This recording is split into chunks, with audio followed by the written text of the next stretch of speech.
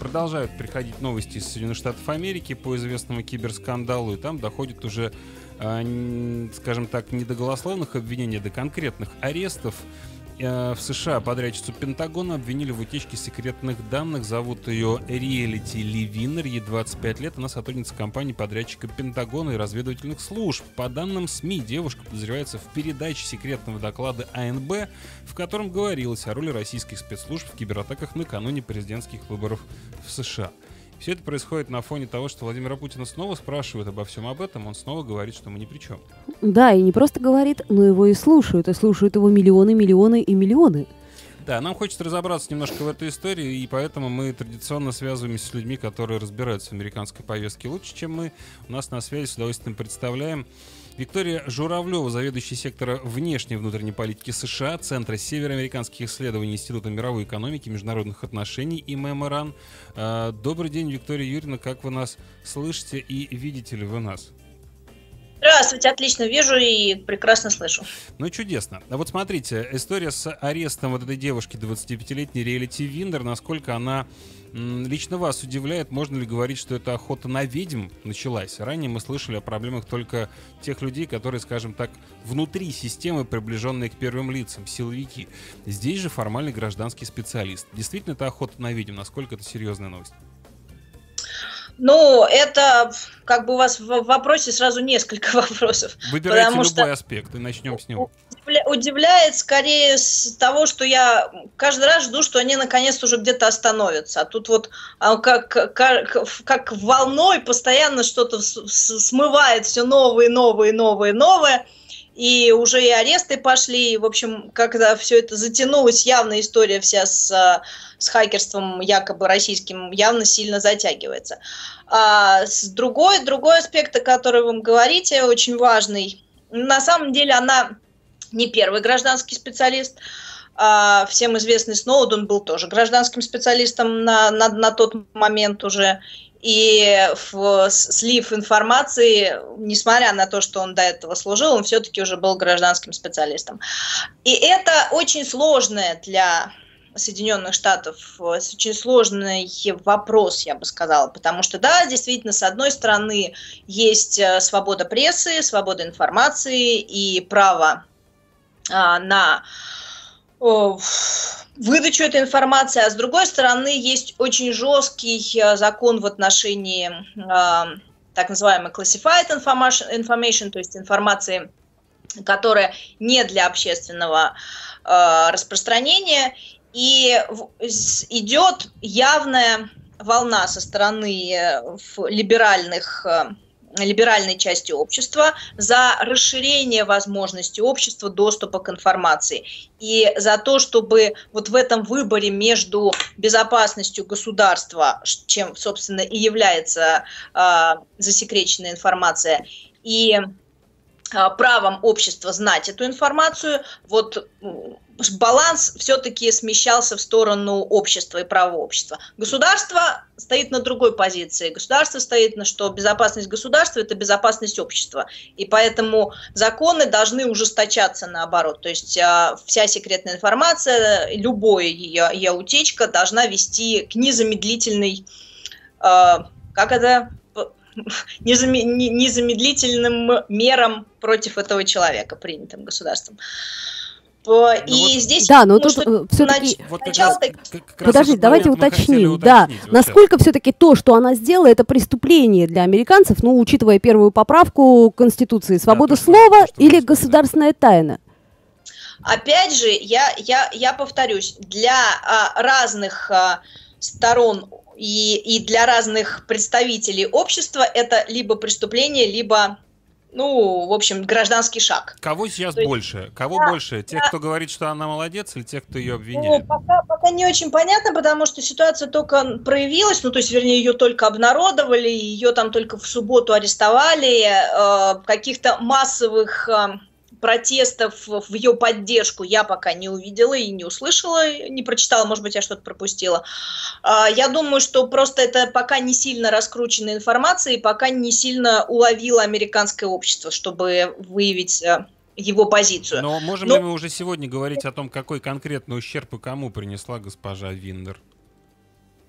Я пока я вот из того, что я прочитала а, об этом деле, я не вижу тут какого-то конкретного ущерба, потому что фактически это а, расследование по результатам, да, то есть она-то выдала информацию, которая ну, она была засекречена, но, в общем, все уже произошло. То есть это вот не, не, не та информация, которая могла бы привести к новым, там, не знаю, новым взломам, новым хакерским атакам, еще чему-то. Это она скорее проинформировала, что такое было.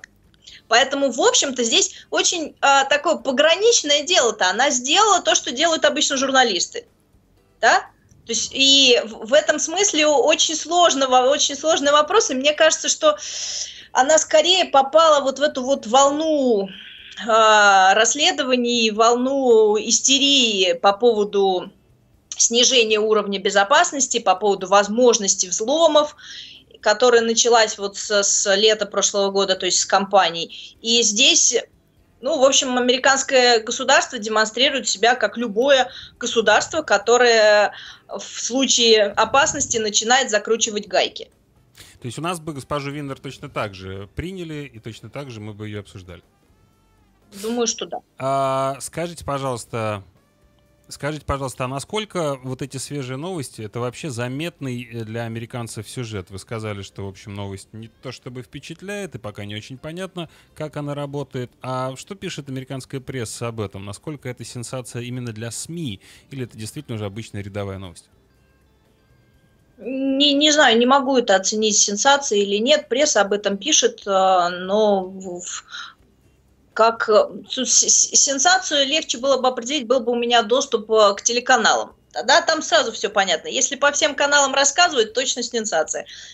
Поскольку у меня такого нету, я могу вижу только прессу, а пресса, но она об этом информирует. Скорее так, особо сенсационного ничего я не увидела. Но здесь зависит от того, в каком направлении они куда это пойдет, то есть как эта пресса будет использовать. Если это включится в общий поток а, антироссийской истерии, то ну точно будет один, один из кусочков сенсации.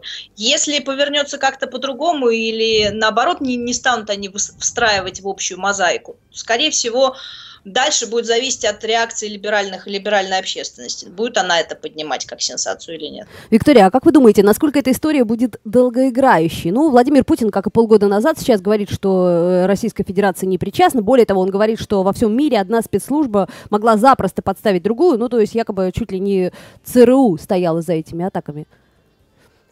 А, про долгоиграющесть вы имеете в виду общую историю с, с, хакерскими атаками, Конечно. да? Абсолютно, абсолютно точно долгоиграющая, потому что она э, вписывается в общую материю конфликта России и США. И до тех пор, пока она удобна и используется как инструмент, она будет э, вот как бы раскручиваться максимально. Каждый любой, любой момент, который появляется, и с этим можно связать, он будет с этим связываться. Потому что это сейчас вот в рамках общей общего противостояния истеблишмента Трампу, общего противостояния истеблишменту России. И неважно, что говорит наш президент, неважно даже если мы все будем говорить, что мы этого не делали, доказать это невозможно. То есть это очень удобная тема, потому что, ну, один будет говорить да, другой будет говорить нет, и все. Для на, накала, да, для наращивания вот этого с, создания образа врага и наращивания истерии очень удобно. Слушайте, ну вот, например, политолог Николай Злобин, комментируя беседу Путина и Келли, констатирует, что на самом деле многие американцы не верят в российское вмешательство в выборы США. Вы знаете, я думаю, что по-разному есть те, кто не верит, те, кто верит. Я, например, к своему удивлению обнаружила даже среди своих коллег-специалистов, э, то есть американцев, которые занимаются и американской системой, и занимаются российско-американскими отношениями, обнаружила с удивлением, что они вполне допускают такую возможность и каким-то доказательствам даже верят. Поэтому мне кажется, что сейчас так массированно средства массовой информации пытаются убедить в этом американское общество, что э, тех, кто не верит, будет все меньше. Ну, просто потому, что ты исходишь из той информации, которую тебе выдают. Если никакой информации другой, альтернативной нет, ну, в конце концов, в условиях конфликта не верить же президенту страны, с которой у вас конфликт. Это странно, да? Это странновато, да. Ну, завершая все-таки еще раз эту мысль, мы давайте попробуем понять насчет охоты на ведьм. Ждать ли нам следующего, я не знаю, там, гражданского специалиста? Как скоро ждать? Или все? Эта история так давно развивается, что, в общем-то, все понятно, и все козыри уже нам предъявлены. А, нет, вы знаете, мне кажется, что здесь не стоит это, во-первых, не стоит подавать как охоту на ведьм. Я думаю, что, опять же, это вот продолжающееся противостояние государства и общества, и здесь периодически будут такие люди появляться. Просто вопрос в том, что оно сейчас совпало с тематикой. Да. Совпало и совпало, опять же, с заявлениями Владимира Путина американской а, прессе. Еще, тут еще и Путин, да, а как воспринимают, кстати, заявление Путина? Вы же читаете американские СМИ? Насколько пристально было внимание к тому, кому он это сказал, что он сказал?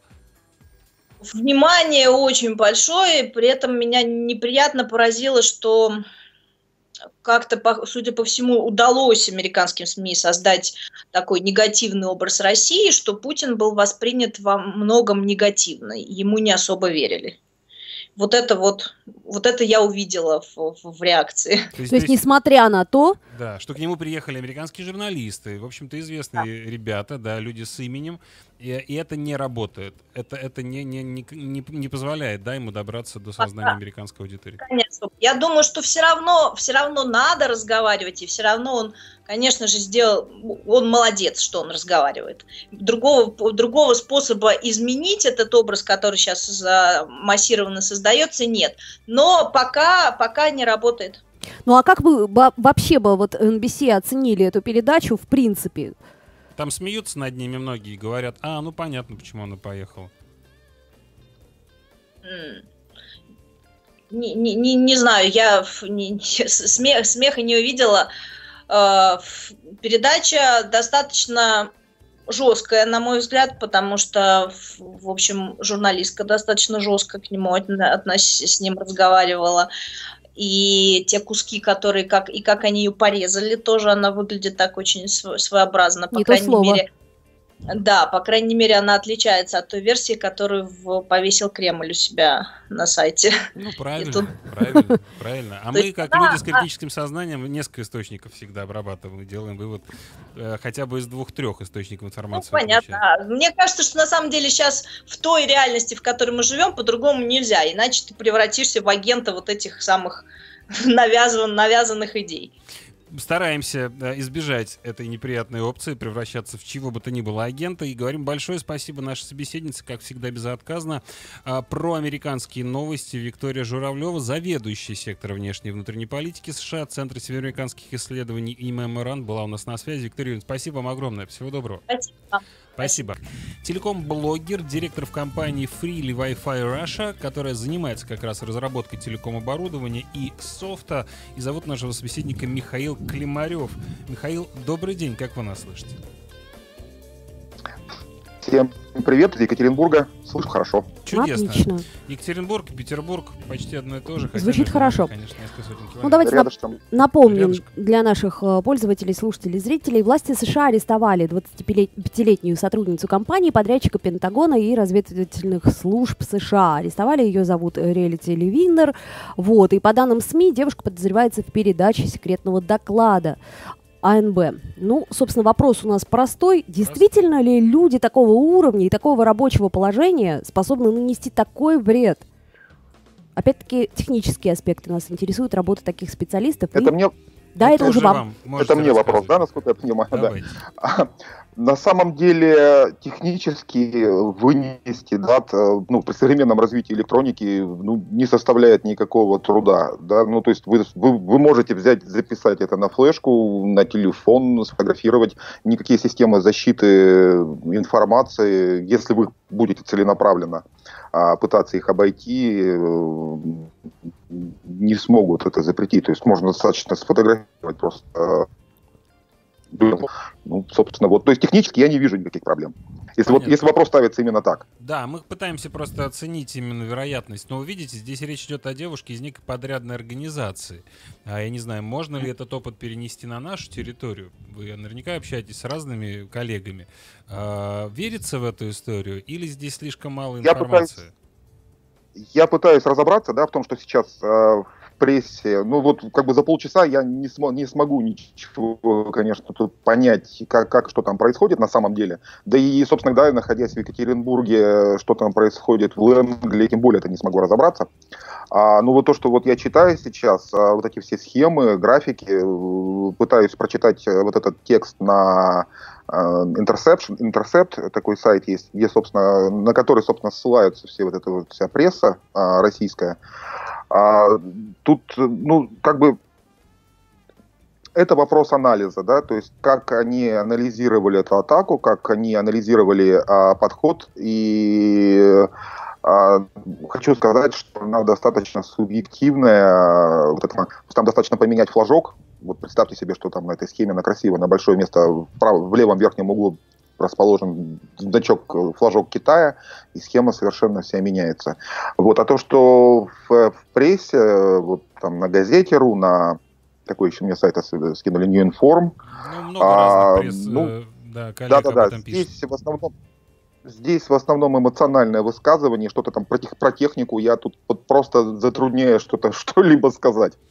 А, хорошо. Слишком...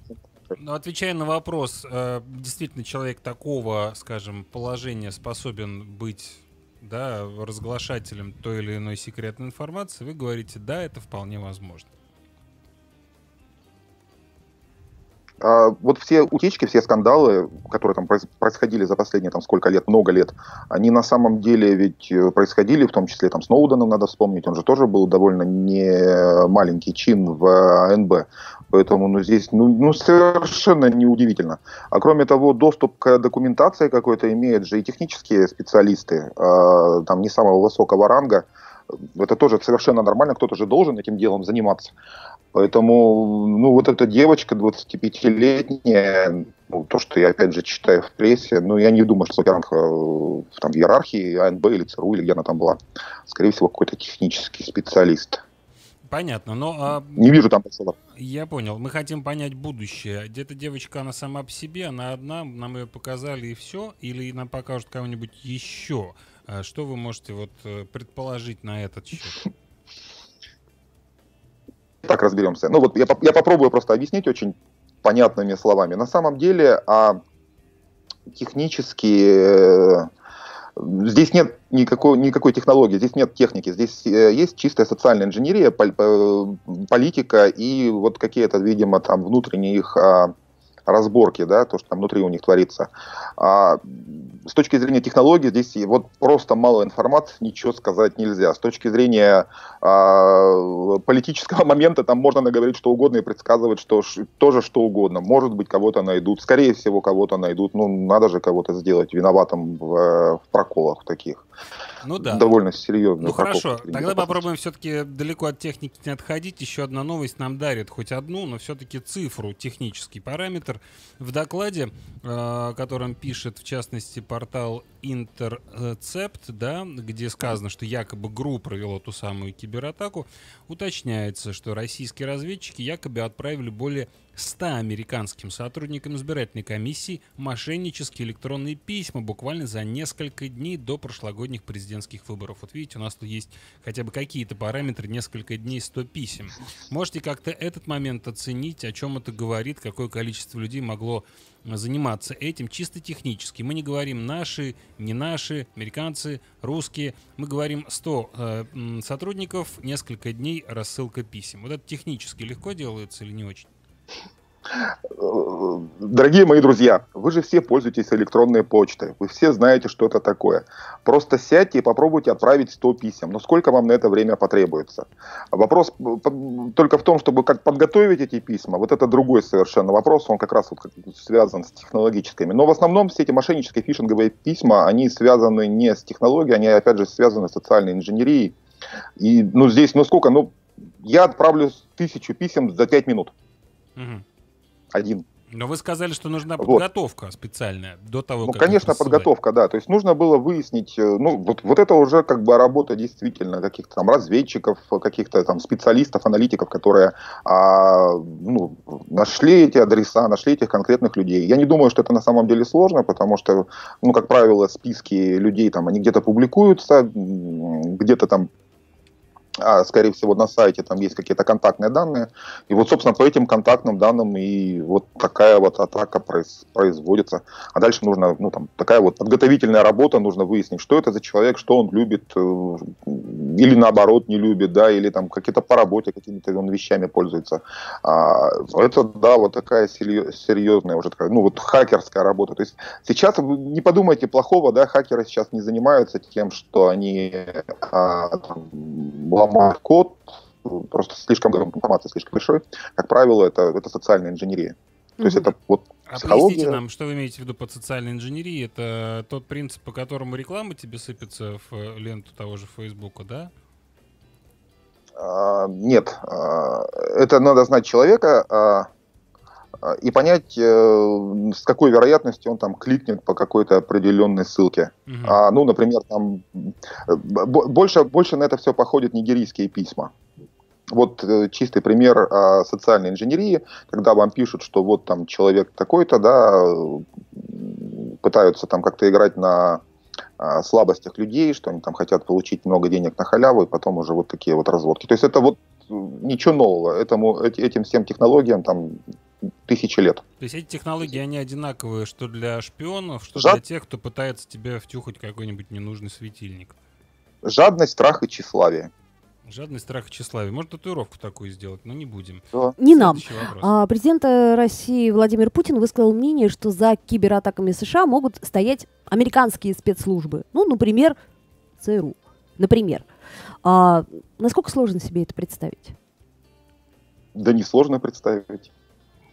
Точно так же, как и причастие это ГРУ э, к, этой, к этой атаке, точно так же, как причастие там, китайских или европейских спецслужб. Такое в, в, в природе такое, ну, в истории такое случалось не раз, не два. А можете Были скандалы между громкий АМП пример, и французами. Который... Да, Михаил, можете привести какой-то громкий пример, когда действительно одна спецслужба подставляет другую? Все думают, что это сделала она, а на самом деле это был кто-то другой я плохо, ну как бы я не знаю там, сейчас не вспомню точнее в моменте всех этих историй, но такие, так, такая история была, это, если почитать шпионские романы, это случается постоянно. Роман это все-таки выдуманное роману. произведение, да, а мы здесь говорим о реальных фактах, от которых зависит будущее многих и политиков, и, как мы видим, людей, не вовлеченных в политику, вот девушку арестовали. То есть Владимир Путин да, друз... абсолютно прав. Это мог сделать кто угодно и подставить и свалить вину на того, на кого нужно было бы эту вину свалить. Но я бы удивился, если бы Владимир Путин признал даже, что вот действительно там ГРУ э, провела такую операцию, да, и не попытался даже свалить на кого-то там. Вот. Но опять же, это все субъективное, да, все, это все политический момент, который к технологиям не имеет никакого отношения совершенно. Владимир Владимирович Путин может говорить что угодно, что ему выгодно, что в, настоящий момент э, определяет там, да, какую-то политику. Точно так же, как и руководство ЦРУ, АНБ, FBI, кто там еще есть, э, будут утверждать совершенно обратное. Но как технарь, скажите нам, подставить технически несложно. Можно сделать? Нет, нет. Вы же можете написать в, э, в подсма, что это КГБ. Потому что я представитель КГБ. Можете? Можете. Легко. Ну, а вот если мы сравним... Я не знаю, что сказать. Нет, вы ответили. Можно. Ответили. Ну, а, а если мы сравним, ответил, например, да. Россию и США, вот где лучше выстроена защита от внешнего воздействия? Вот это очень интересный вопрос на самом деле, да, вот, на котором, наверное, хотелось бы вот немножечко поподробнее. Смотрите, а, что сейчас происходит. Вот все эти кибервойны, а, это же по сути дела а, война интеллектов, которая чисто относно, да, она зависит от того, как много, как часто вы пытаетесь, да. Михаил. Соответственно, да-да-да, что я пропал куда-то? Да, чуть-чуть Алло. пропали. Вы сказали война интеллектов, и дальше связь прервалась. Продолжайте. Война? А, объектов, а интеллект э, составляет, ну, по сути говоря, люди. И чем больше людей вовлечены в процесс, тем больше вероятность того, что ну, ваша позиция будет больше, более сильной. А, и понятно, что у США здесь самая ведущая позиция, поскольку все мировые а, технологические компании, они находятся в США там больше денег, больше людей вовлечено в это во все. И, ну, да, вот США лидер, а, технологический лидер всего на сегодня, технологический лидер э, мирового масштаба. Но им наступают на пятки Китай, и где-то там, ну, в десятке можно поверить, это находится Россия. Мы значительно уступаем, имеется в виду, значительно уступает э, в этом отношении как США, так Китаю, так и европейским странам. Это надо признать. Просто по, той, по одной простой причине, что у нас меньше людей, а у нас меньше компаний технологических, у нас меньше, ну, соответственно, людей вовлечено в, в эти все процессы. То есть, возвращаясь к нашему предыдущему вопросу, скорее технически американцы могут нас поставить, чем мы их, ровно потому что ресурсы у них серьезнее. Вопросы целеполагания. Ну, то есть, если... Ну, я не, не считаю американцев э, какими-то там белыми пушистыми, которые там вот э, там живут и нюхают цветочки постоянно, точно так же, как и не считаю, что и в Китае такие же люди живут. А, естественно, они преследуют какие-то свои интересы, естественно, это все делается. Но доказать что-то вот на основании той информации, которая сейчас есть, которая на Interception опубликована, а, я ничего не могу сказать, просто нет достаточного количества информации. Могли, могли подставить. Михаил, последний Но момент. это совершенно не следует из этого, что подставили, правильно? Мы, мы двигаемся в каком направлении? Мы догоняем их по уровню технических способностей, знаний, там, навыков и опыта? Или все равно как-то вот неизбежно отстаем? Есть же какое-то движение? У нас же в это очевидно вкладываются, чем дальше, тем больше. Что мы знаем об этом?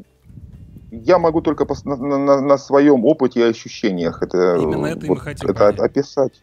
А, мы отстаем и отстаем. Чем дальше, тем больше. Спасибо Государственной Думе, спасибо политике партии в том, что у нас там блокируют интернет, в том, что у нас э, пытаются ограничить свободу слова. Это все сильно влияет на самом деле развитие именно технологий. Как интересно. То есть борьба за безопасность внутри выходит боком Э, с точки зрения борьбы за безопасность снаружи, так? Совершенно верно. Странно. Ну вот, это так говорит. Давайте, давайте, я, давайте я попробую объяснить, да, вот на, на, на, просто, на простом совершенно примере.